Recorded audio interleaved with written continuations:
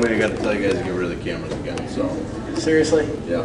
We got the money and we're ready. The guy said before, this is not a big deal.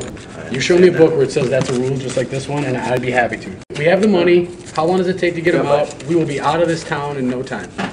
He's As in an charge officer of the law, can you facility. show me He's where in says charge that of, that's I don't need to illegal? show you. He's in charge. He said shut the cameras off. You need to follow his instructions, being I- the person in charge of the facility. He has no authority over me. Yes, he does. When you're oh, in you're- his you're- I'm building, not in his building. shut your camera off and leave the property. I- I'm not shutting my camera off until, Well, you gotta leave the property then. We've discussed this.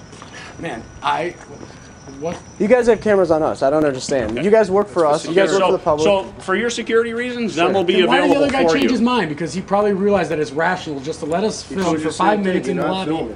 He, I have it on we video, have man. Permission from him you. to film. That's what? So we can get our friend up?